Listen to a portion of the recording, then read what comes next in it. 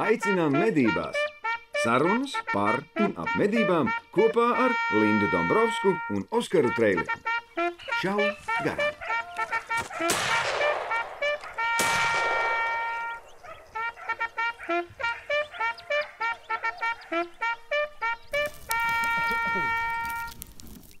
Šodien esam drustos pie Kaspara Dukaiska, pie Stalbriežu piebaurotāja kluba viena no tādiem aktīviem biedriem. Un jūs skatieties podkāstu šauj garām ekstru. Šau garām! Jaktei būt! Riests ir sācies, to mēs zinām. Dažiem viņš ir sācies tagad, bet dažiem viņš varbūt jau ir sen jau beidzies, jo iespējams mēs skatāmies, jūs skatieties šo decembrī, bet jūs šo skatieties noteikti septembrī, un tā ir tā aktuālā lieta, kad meža karalis ir izgājis ārā, un visiem saka, ka viņš ir ieradies. Labvakar! Labvakar, labvakar, tā viņš tieši arī saka. Šodien mēs parunāsim par uh, raļņiem noteikti. Drusti ir izvēlēti tādēļ, ka pagājušajā gadā, kad man uzaicināja, man ļoti patika. Riests gāja pilnā sparā, un uh, ne tikai stāvbriežiem, bet paralēli arī aļņiem, kas bija ļoti interesanti. Jo pārsvarā vienmēr notiek tā, ka alns no sākuma izīdās, notiek, un tad vēlāk sāk brieži baurot. Šodien, starp citu, tikko kā arī man zvanīja arī no kurzemes kolēģis Egīls, un viņš saka, iet kurzemē, iet vaļā, viss notiek. Viss Tur vienmēr sākās divas nedēļas ātrāk. Divas nedēļas esam- ātrāk, jā. Bet arī šeit drustos, taču šovakar aiziesim vēl paklausīties, kas Pāris, notiek. pāris reizes jau dzirdēts, jau ir. Un, Pāris. un Pārīt. Kas ar aļņiem ir? Kas ar aļņiem ir? Mežā jāiet, lai Alni dzirdētu. Šovakar iesim malnu klausīties, jā. Bet, nu, jebkurā gadījumā pirms iet īdēt alni, mums vajag sagatavot. Es domāju, ka mēs varētu sākt ar alni, pēc tam mēs tā lēnām aiziesim jā. uz briežiem, vai ne? Varam. Pastāst, kas tev ir līdzi, ko tu esi atnesis un ko tu man pastāstīsi Līdzi par alnīti. Kralnītis. Kas tas ir? Tā ir, teiksim, tā. Skaņas pastiprinoša ierīce, jeb skaļrunis, var teikt. Skaidrs. skaļrunis. Paši varam to uztaisīt un tam līdzīgi. Jo, kad ieejam mežā, paši zinām, ka alni nevar dzirdēt ļoti tālu. Vajag būt klusam laikam pirmkārt, un, lai viņi varētu dzirdēt tā apmēram no klusā laikā, labos apstākļos.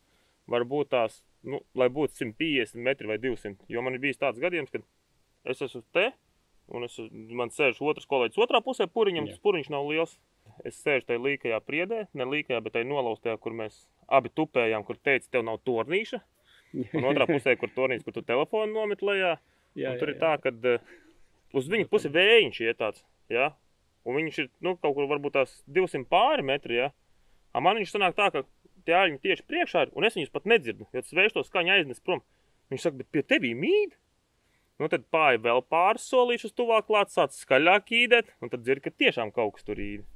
Nu, tā, ka tas nav tā, ka tu aizies uz mežu un liekas, tev pēkšņi nekā tur nebūs. Bet principā tev pietiek ka tikai ar rokām, vai tomēr vajag Pietiek. šo, lai no tālāk atstātu Startā pietiek ar rokām, tad ir var ar trubiņām, rek ir, lai redzētu tā, pacelsim šitādā veidā, vo.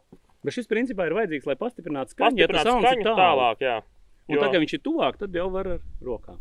Pirmais ir uh, redzējums, ka Alnis sāk riestot, pirmkārt riesta bedrītes pakalnītē, purviņa pakalnītes kaut kur, kur ir, ja, tur būs bedrītes, un ja atrodam bedrītes, zinām, ka Alnis tur aktīvs ir. Tad jau, jau var piesieties tam, kad tur ir jā, jau, jāmeklē. jau jau jāmeklē, jā. būs. Un vēl, kur ļoti labi, ir visi zinām savās teritorijās pārsvarā aļņu pārējais, jā. Ja pirms tam vasarā nebija nekādu pēdu uz ceļiem, tad vienkārši, ka tu ej pirms riesta, jā, pārbrauc pāri nav uz ceļiem pēdaļņi, jā, tad riesta vēl rītīgi nebūs sācies. Viņš būs sācies tā kā aļņu pēdas aktīvi parādās uz Tad, tad viņiem Takām, ir jā. kustība. Viņi rotē, riņķo, meklē govis, dabū kāds pa mīzu jaunāks, kāds lielāks dabū pa mīzu. Ir bijis tā, ka trīs buļļus sasauc čupā, viņi beigās paši sasaucās, un es neredzu nevienu būlu. Jo es esmu tāds, ka tas ir mīkstais laikam, jau un paši aiziet savā starpā, un tik dzirdi šļāka, tas šļāks, tur īdēnams, sprausludams, kāds mūk, kāds nemūk. Nu. Tā kā laimes spēle ar tā ir. Un ko darāt zināt, teiksim, mūsu skatītājiem, tāds kā ieteikums, kad labāk eh, ar īdēšanu medīt? Tas rīta stundas, vakar stundas, dienas vidus varbūt tās.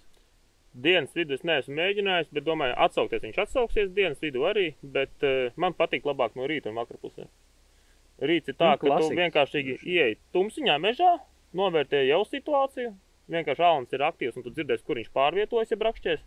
Jā. Ja tā brakšķa nav, tad ir ieteicamākais, ja negribi iztraucēt alni, ka tu ej, pieņemsim, pa taciņu, pārseiz ar rokām, piemēram, saliec mutu un tur uztais divas, trīs mhm. reizes. Ir citreiz bijis tā, ka ā, un tur patās guļ. Viņš vienkārši pieceļas un dzird, ka brakš. Tad tas znači, viņš tev priekšā kaut kur jau ir. No?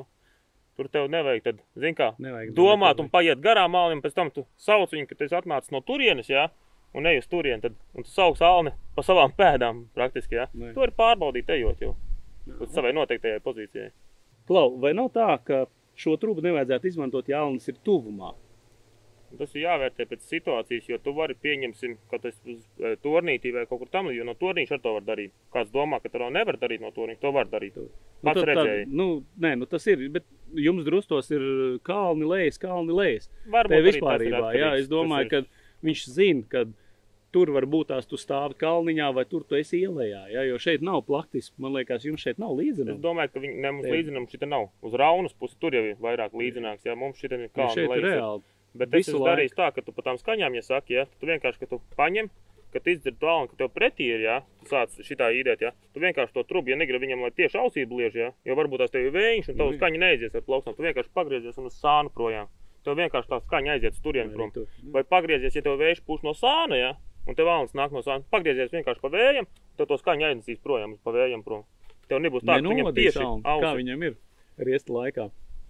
Nu, riesta laikā, teiksim tā, kad alnis ir pagājis apakšā, tā, ka tiešām apakšā, ja tas ir 3 metrus virs zemes, 2 metri no tejiem un apakšā. Respektīvi, riesta dūmā viņam pilnīgi ir. Jā, bet tu, Tā kā starp citu arī Kaspars Lārmans mums stāstīja, viņš saka, beidz. Tur tik uzīti, viņi tā kā šuneļi skrien šurpām, ja?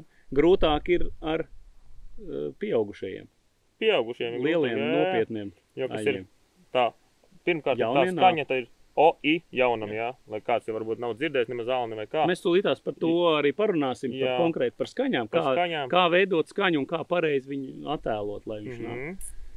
Jo Bet, nu- ir tā, ja tev jāvērtē būs pēc tā, vai viņš nāk vai nenāk. Ja viņš nāk, tad pirmkārt dari jau visu pareizi. nāk. Ja viņš pirmkārt nenāk tev, tad kaut ko citu Kaut ko- dari. tu Tu kaut ko- nevari, tu dari tu kaut nevari ko neko, tu nevari zaudēt vairāk. Vai viņš atnāk, vai vispār neatnāk. Bet pirms parunāsim par to, kādas skaņas izdod viens vai otrs būlis vai, vai govs, kas būs interesanti, to pēc pauzes. Nu ko? Lādē iekšā! Nu, ko turpinām par balsīm? Uh, pauzīte tā teikt beigusies. Aiziet! Sāksim ar būli, varbūt tās, ja, un pastāst un parāda, varbūt tās, kas jādara mēlē ar rokām, kur likt, eh, cik skaļi, mute vaļā ciet. eh, Rokām, ja grib ar rokām to darīt, tad pirmkārt mums jāizspiež tam mandalīts, būtu ciet. Šitien tā.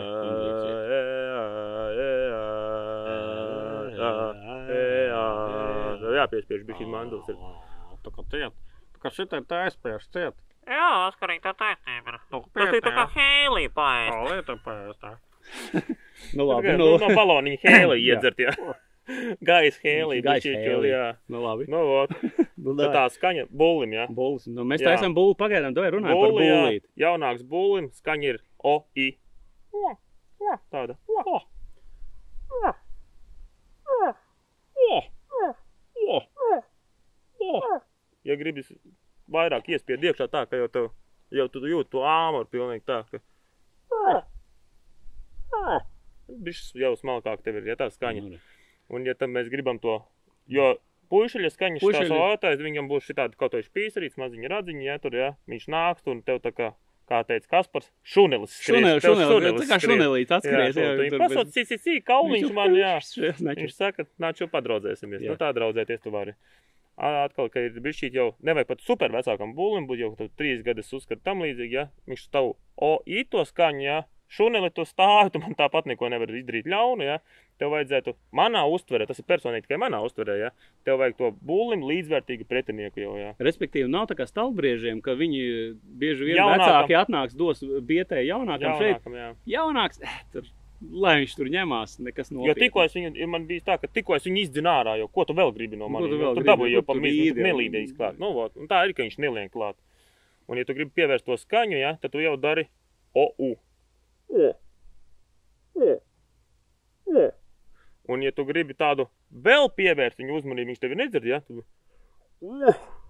Un tas jau tā kā, Tas tā kā no iekšas, Jā, to paņem skaņu no tās diafragmas un izgrūda ārā, kad tas tāds dusmīgās. Uh, Un tas, ka viņš jau nāk tā kā lokomotīva, kā Nu. pagājušajā gadā atceros, viņš tur tā kā iekurināja viņu, tur Nu kā tā. ar vienu, ar tas otru. tā kā Un tā viņš, uh, uh, vecāku traktoru, ja, kad tu griez ar kaut ko tur, ja, tūlītās dod mizā, kas tur ir. uz oglēm, uz dīzeļa, ja, ja, kur tā- kruķi, kruķi, kruķi, un tā viņi iet, ir iekurbu. Un to vēl negribīgi, ja, zin, kā viņam tur priekšā bebra dāmas, kamēr viņš to šķērso, un tas ir, nu, atkarībā no relieva, cik viņš Parāda skaņa ar pastiprinātāju Ar pastiprinātāju, ja, šajā virzienā. šajā virzienā. Šajā protams. virzienā. Vai šajā? Nu, šajā, Šajā šajā, šajā, jā. šajā. Kā tu gribi? Oh, oh, Tas tas šunēls. tas ir tas šunelīts, jā, kas vienkārši ies- bullītis, Jā, Tik jau redz viņu. varam paņemt šitādu. Oskars sen gribēja zināt, kā lietot šitādu vispārībā. Es, Nezinu, viņš gri- gribēja kaut ko tur dzimšanas dienas balīties, taisīt tam līdzīgi, bet muti kā pareizi liek iekšā, bet tas ir tikai, protams, mans atkal, ja? Es viņu lieku iekšā. Lūpas iekšā šitā ieliek, o. Nav jāņem tā kā briežu taurei. O? Nu, tur nepārprotiet, jā, bet. O. Un tad var, ka šitā ir lielāka, nezināšu kā mikrofonā, bet to pamēģināsim. O. O.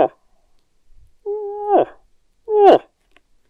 Viņu tad vienkārši tā skaņa aiziet stipri tālāk uz šito. Nu, tas ir Jā, dabā jādara. rezonē un, un jāredz, jā, jādzird dabā. bērns tās dabā. arī forši viņa bišķiņ slāpē un dod Viņam- dobjumu nedaudz Man klāt. nepatīk plasmasa, ka viņam tā plasmas Rezonē vairāk, tur, jā. jā? Viņi tur, es nezinu, nu, tā, man, es Nē, esmu šis mēģinājis, dod, jā. šis dod tīri dobjumu. dabīgs un vispār. tāds. Es domāju, ka vēl var uztaisīt arī no kartona, bet kartonam būs mīnus lietas laikā, ka viņš izmirks. Nu, jā. Nu, un var Ok. izjūt. Uztaisi rupjāku. jau Rupjāk, pieaugušāku, paņemsim šito. Pieaugušāku čalu.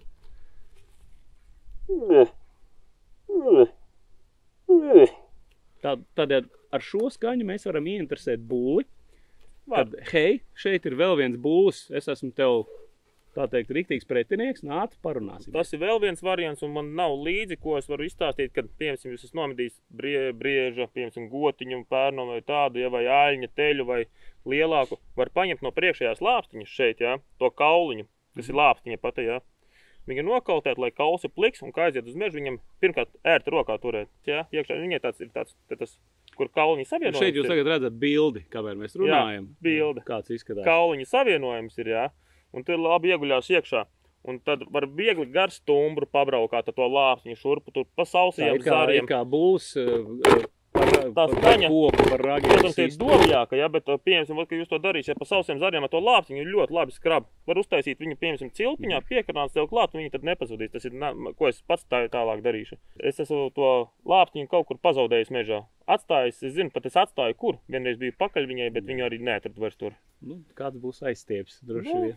Labs, ja Respektīvi, šī lāpstiņa ir vēl viens veids, līdzeklis. palīga līdzeklis, kas palīdz pievilināt būlu, tad, kad jūs vēl ar skaņu mānat, vēl var padauzīt gar kokiem, gar zariem. abus buļļus no lielajiem Abas pārnaģiem. buļļus no lieliem pārneģiem. Tieši tā. Ir vēl viena lieta, par ko daudzi eh, mednieki Latvijā zina, bet mm, bieži neizmanto. To es zinu noteikti. Un to esi viens no pirmajiem, ar kuru mēs kopā mēģinājām šo sistēmu. Tad, tad mēs, un ko dara ļoti, ļoti veiksmīgi Igaunijas mednieki, ja, tas ir tad, tad atdarināt uh, govs skaņu riesta laikā. Tas ir vēl viens variants. Jā. Nu, šis ir ļoti labs variants. Viens, ka tu vienkārši sauc būli, bet tad, kad ierunājas meitene, kas tevi jau aicina, vai ne? Tad, tad tas ātrums tam būlim nāk pie Bišķi tevis. Ir, ir bišķi, nu, lai, lai neteikt vairāk, viņš ir vienkārši Jā, Jā, fenomenāls. Mēs varētu vēl pastāstīt, varbūt tās nianses, teiksim, pirms mēs parādām uh, govs skaņu. Piemēram, ja tu esi ieradies uz to purviņu, ja? Nu, ar ko tu sāc? Un pirmais, mēs ierodamies normālā laikā, mēģinam iekārtoties un saprast, vai tas būs tur ir. Un tad mēs sākam ar ko? Ar mierīgām skaņām vai uzreiz kaut kā agresīvi. Ko mēs darām? Var pieņemsim darīt tā, ka ir, eh, ja tu pirmā vienā vakarā aizies, tev neizdevies, piemēram, ar būli, ja, pievērst uzmanību, ja, tu vari sākt nākošā vakarā, jo saules būs turpat kaut kur. Jā. Govi. Nebūs tā, ka kosmos aizskrējuši viņu projām, viņš tur iest un ir iestabedes. Nebūs tajā, tad būs no rīta vai vakarā atkal būs, viņš, Jā. bet viņš tur atgriežas. Tad var sākt ar govi Var sākt ar gūstu. startā, jā. Okay. Bet, ja viņam būs govs blakus pie sāniem tieši, ja, tad tā brūte, ja, viņam tā, kas ir ļevā tāda no maliņas pienākusi, ja, tad viņa nu, nebūs tā, ka viņš skries Tas un skries pie citas Jā. dāmas. Ja? Varbūt tās sākumā ir iespējams labāk viņu Abu- pakaitināt ar abu- būli. Tāpēc, tas ir ir atnācis konkurence. Tas konkurence. ir konkurence, jā. Nu, Tāds ne- neliels ieteikums. Sākt viegli ar būli, pārbaudam, kas notiek Kustība, platībās, kustība ir vai nav. Ja, ja jūtam, kaut kas atsaucās, kaut kas ir, tad mēs varam pamēģināt ar govs skaņu. Kāda ir govs skaņa? Gūs skaņa ir Latvijā. Es neesmu reti, kad esmu dzirdējis divreiz tikai par šiem gadiem visiem. Kā gūs to dara Latvijā. Viņi bišķīt savādāk dara, bet es tā kā no Kanādas e, profesionāļiem vai kas ir arī īdētāji, esmu aizņēmis to. No YouTube, Nē, no tur- video to var nē, atrast tur ir ļoti lielie, daudz. Lielie aļņi, bet, Jā. bet īstenībā tas Tas, strādā. tas strādā, Oskars bija pagājušajā gadā. Tur var brīnīties, var nebrīnīties, bet tas darbojās. Tas darbojas. Tas darbojās. Jā, tieši tā. ja esam dzirdējuši, piemēram, mežā, kā govs atšifrē to visu, ja viņi atšifrē tevi, ja? ir blakus govs vienkārši un viņi tevi atšifrē. Tad govs vienkārši tāpat kā bukserē, ja? bet tā skaņa ir reiz desmit apmēram, būs vienkārši liels, skaļš rēciens mežā. Tur nav jādomā lācis vai kas, bet āļņu vienkārši govs, jā, Smagi zinu. ar visu elpu Tas ir tāds. norējās riktīgi viņa. Bet par to, kāpēc viņi reiz to pēc nelielas pauzes. Nu ko, pārlādējam! Tā teikt, aļņu mednieka riestā slepenais ierocis. Ja, par to mēs tūlītās arī runāsim. Slepenais ierocis manā skatījumā noteikti ir aļņa govs, tā teikt, skaņas atdarināšana. Tev liekas tikai tāpēc, ka tas pirmkārt jau vīrietis.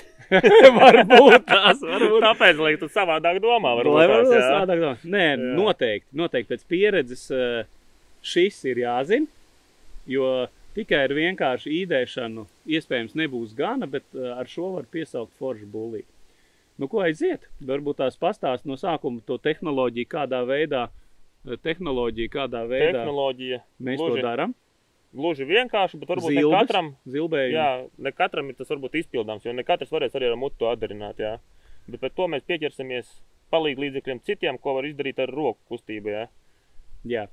E, tai, nē, nē, nē, nē, nē, tādu roku kustību. Es saprotu, jā. Nu. E, bet e, ir tā, ka ir tā skaņa ir, var variēt viņi dažādi, jā, bet mana skaņa ir tā, uah, tāda tā kā, Ar a- ah tā kā, ah, beigās, no, nobeigt Nu, tā tādu kā ah, jā. izpūtieni. Bet to vilkt tādu, garāk tādu, nu, es to tās uztaisīšu. Dabai uztaisīšu. Nu, tādu. tādu.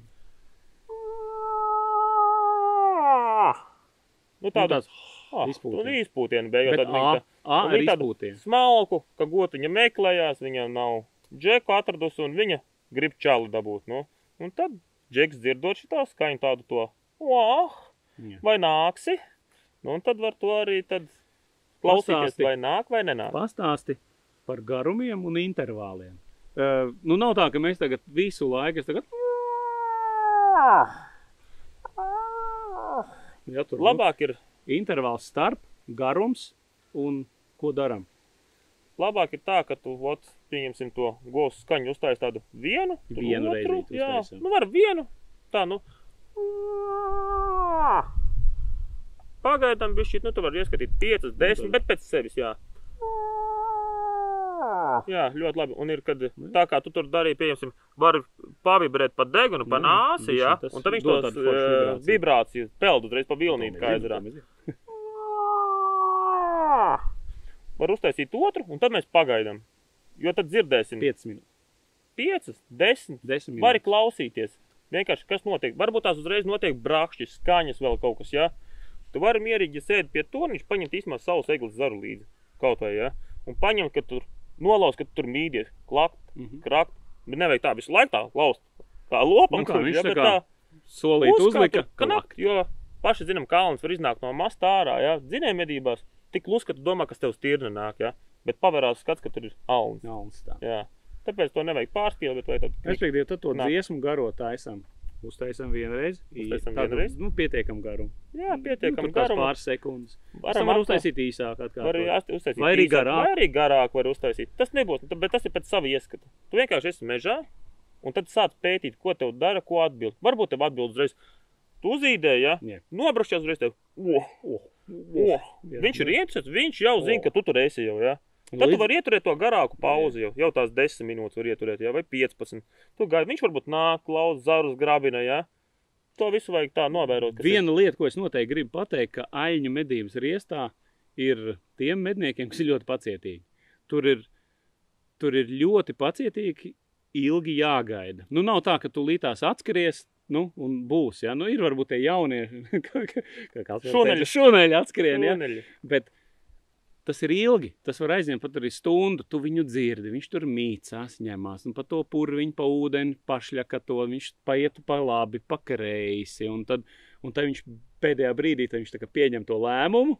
Un, Un? tā nāk taisnā vīlē cauri zariem. Vai nu pāroties, vai nu vai, nu, kauties. vai nu kauties. Jā, bet jebkurā gadījumā.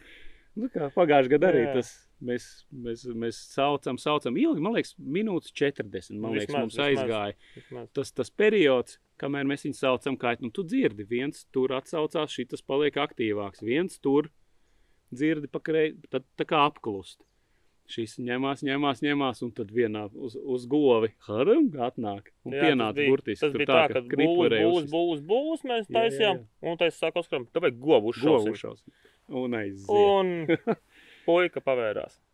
Runājot par riestu, mēs bieži vien sastopamies arī, nu, runājot arī par stalbriežiem, mēs runājam, jo, ja ir ļoti daudz dzīvnieku, ja, tad, tad nu, riests izskatās tā, ja ir maz dzīvnieku, tad nedaudz savādāk kā ir ar raļņiem.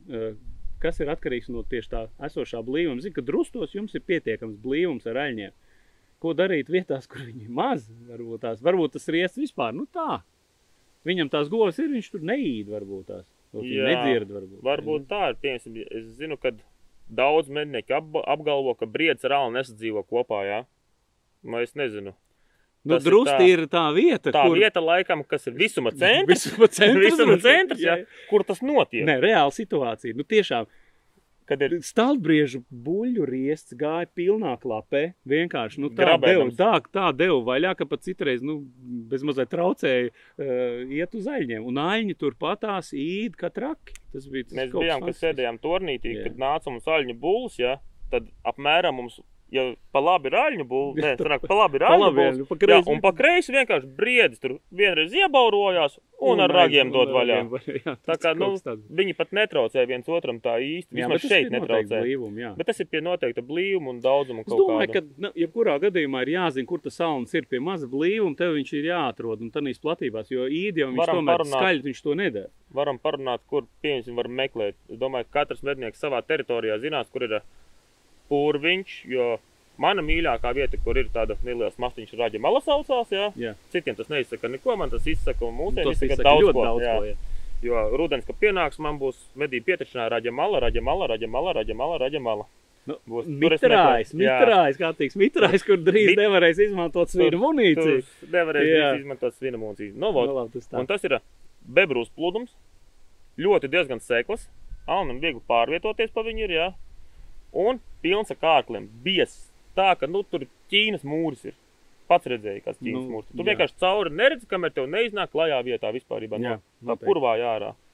Tad, attiecīgi, pirmkārt mēs meklējam, kur ir ūdens, jo riesta laikā būlim vajadzēs ļoti daudz dzert, jo viņš ir riestā un maz barojās, bet viņam Jā. vajag šķidrumu. Viņam šķiet, Vajag šķidrumu. Attiecīgi viņam vajag atveldzēties, atdzesēties, pēc riesta iekrist kaut kādā bedrē, nu, kas ir normāli. ir riesta bedra, kur parasti viņš nu, starp kalniņā, un turpat blakus var redzēt, ka ir izgulējumi. Tas ir jātaisa, kur ir jāmeklē, viņš pirmkārt, kur ir tāda mitrais. Nu, Purs jau Alnim pēc savas būtības jau ļoti patīk. Man Jā, liekas. un tad, ko es teicu, pētam ceļus. Un tad arī, kur mazāks blīvums būs, pirmkārt uz ceļa, tur redzēs, kur notiek kustība jau. Bet par ceļiem runājot, kā iet pa ceļu, un to, to atkal pēc nelielas mazas pauzes. Šā garām jaktei būt. Runājot par to, kur aļņi staigā pa ceļu. Kaspar, ir viena lieta, ko Kaspars man ir noteikti iemācījis, arī par ko mēs ir, ir, ir, Nezinu, par ko mēs, neko. ir maziņš noslēpums, uh, un par to, kā mēs varam pienākt klāt ļoti tuvu dzīvniekiem. Uh, Pagājušajā gadā viņš man uz, uzminiet, ko izdarīja. Viņš vienkārši teica tā, ģērb kājas nost. Es saku, kā? Nu vienkārši apaus nost, tas būs pa skaļu. Nedomājies, mums bija jāpārvietojās pa grantētu ceļu. Kā vislabāk pārvietoties pa grantētu ceļu? Vilnis zeķais, draugi. Lūk, lūk šīs ģe- ģeniālās Cietēji.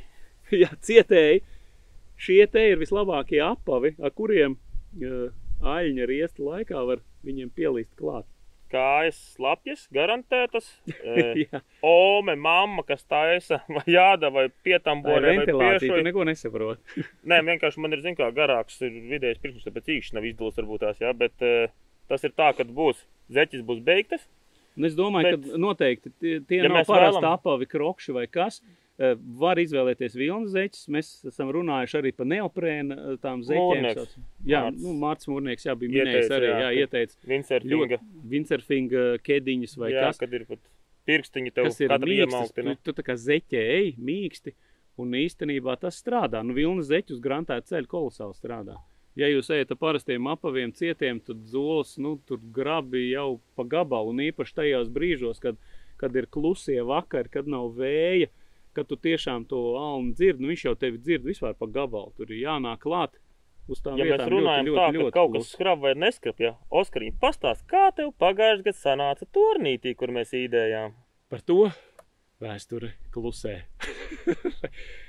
gribēju nofilmēt, gribēju nofilmēt to, kā nāk mums alns.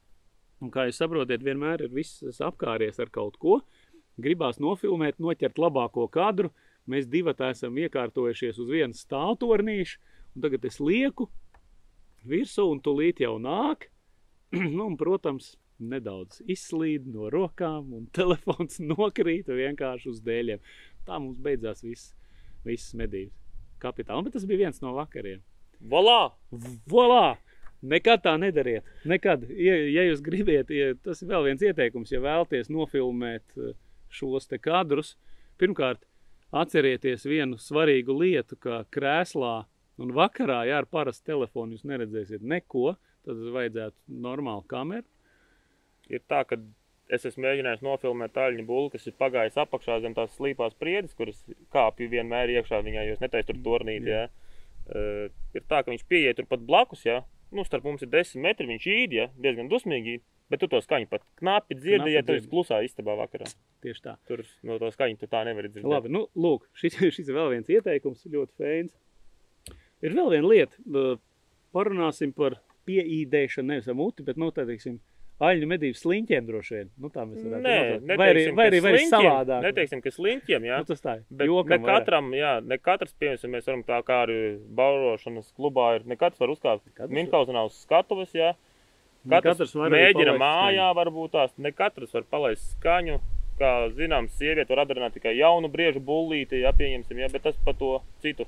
Tad kāds būtu ieteikums medniekiem, kuri, kuri nu, varbūt tās nu, nevar vai negribētu, nu, kuri gribētu savādāk piemānīt alnu? Kas tas Pilns YouTube ir ar šitiem meistardarbiem. Pagaid, mums te ir vairāk. Re, Vairāk. Parādīt, Tu vari pacelt. Vai, vai paceļam gaisā? Paceļam augšā, jā. Draugi, mīļi, arī no Pringles var uztaisīt, ne? no čipšiem. Mitrās salvetītes, kur vēl kā sārā.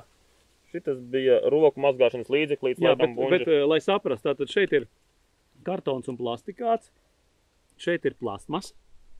Jā, divas plasmas buļbuļs. Te ir metāla un buņģa. eh, jā, skārta buļbuļs.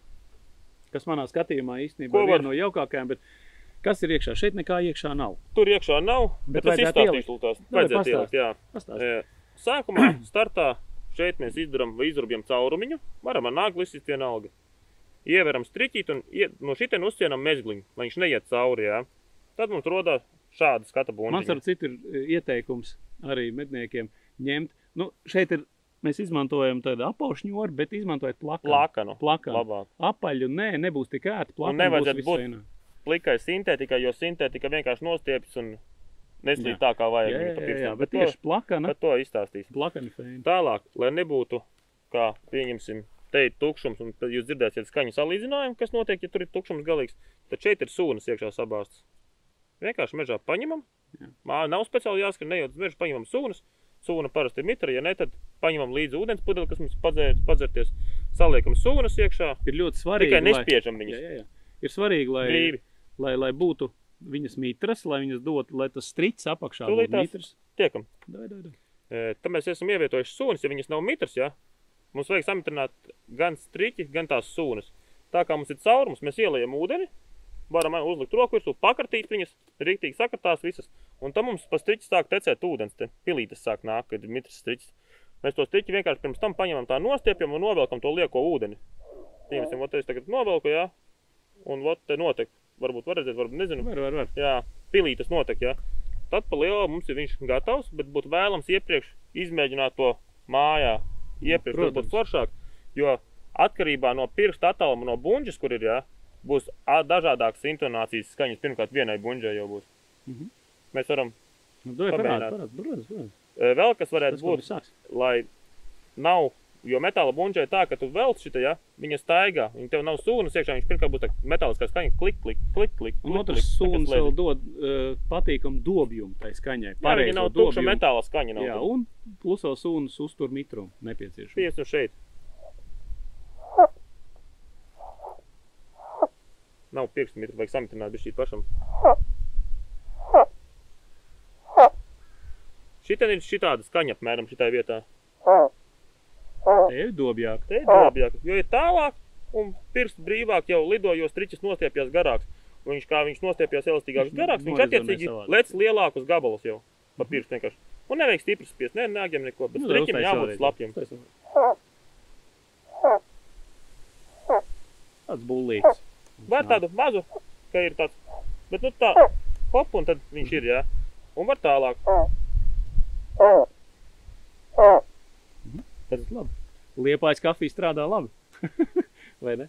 Jā, tā Jā. parāda, parādies. Tā nav reklāma. Tā nav reklāma noteikti. Arī Pringles reklāma tā nav. Pringles reklāma arī tā nav. Pringles buņģām, kas ir, ir mazās buņģiņas, kā zinām, arī, jā, tās arī var izmantot. Un garās, es labāk teiktu, paēdam garos čipšus, daudzos čipšus, un attiecīgi mēs varam tad variēt skaņas daudzumu jau no nogrieztā augstuma buņģas. Te nav, pieņems iekšā sūniņas, jā, ah, bet mēs varam ot, Var pārlādēt. pārlādēt. Pārlādēt mēs varam. Tagad pusbuņģi pieņemsim, jā. No, normāli skaņa. Un šeit jau ir dobjāk skaņa. Dobjāka, pirmkārt, tāpēc, ka ir sūnas līdz pusē arī, kaut vai būs līdz augšai, viņas tāpat būs dobjāk, jo garumi ir, lai saprastu, šādi. Diametri viņām praktiski ir identiski vienādi, jā, vot, lai šitā redzētu. Bet Nu, Ir tie, kas garums. klausās, tā tad uh, viņš, eh, tad Kaspars rāda vienu buņģu, kas ir zemāka, viena ir augstāka, diametrs abām ir vienāds. šitā būs rupjāk, jo pirmkārt viņai ir kartons Jā, viņi, jā, viņi ir Tā kartona, ir rezonēs vairāk, viņi ir garāka. Un noteikti iesakām izmantot sūnas, tieši sūnas, nevis salikt kaut kādu papīru vai nē, sūnas drēbi. obligāti. Jā, tieši sūnas, viņas ļoti Šo labi strādā. Parasto sūniņu, kas ir garā, īsā, tam nav nozīmes. Bišķi zemīt, bez zemītes, tas ir Ļoti savādāk. labi. Paņemsim tālāk, to mēs varam pat darbot, nedarbot. Ir tagad parādīsim, jā, Diametrs atšķirība kāda, vot. divreiz lielāks diametrs, Divreiz tad esam paņēmuši plasmas, plasmas trauku, ja, kas pēc augstuma ir ļoti plasmas. līdzīgs iepriekšējam, taču diametrs atšķirās gandrīz divas reizes. Pārvērs arī tur nedaudz Sūnas ir sūniņu. smieklīgi iekšā paliek, jā. Bet tā, lai Jā, un būtiski saprastu Jā, bišķi. un parāda tagad, ska- tagad vajadzētu dobjākajos skaņā. Nu, re. Nu, Ja tā lūk, šāda plasmas skaņa. ir, pieņemsim, pat traucējuši, var pielikt reku pirkstiņu klāt šitien tev. Pieliekam pirkstu no apakšas. Jā. Jau tāda galīgi, galīgi maz ir. Atlaižam nost, lai dibens dabū vibrēt. Mhm. Kad ir pirksts nost. Nu, jā, pieliekam pirkstu. Un Viņš uzreiz savādāk. Un skaņa mainās arī no tā visa, kad cik tu spēcīgi saspieda pirkstu. Nu, Pirkstiem re. striķi. Bet to Vesela mājā- māksla. vesela Mājās māksla. sēžam, mēģinam pirms septembra un dodamies mežā. Nu ko, pārlādējam! Manuprāt, šodien bija diezgan interesanta šauja garām e, ekstra, ekstra epizode, kur mēs runājam par aļņu medībām riesta laikā. Varbūt kaut kāds novēlējums, kas par tev medniekiem šajā periodā. Novēlēt varam. Cerams, ka no manis praktiskajiem padomiem kaut kādiem pie aļņiem Noteikti, noteikti. kāds kaut ko aizliek aiz auss un noderēja. Jā, ja, Ja noderēja, es ceru, Ja- ka viss kārtībā. un obligāti uzrakstiet komentāros, kā jums patika un varbūt tās, ko jūs gribētu vēl uzzināt. Ja grib uzzināt kaut ko, var jautāt Oskaram, gan jau, ka Droši. nodos informāciju no Jā, maniem. jebkurā gadījumā Un esam ko? atvērti sarunai un Šaujam garām. Šaujam garām. Jā, tā ir būt. būt. Ņemamies nost. Masts beidzies.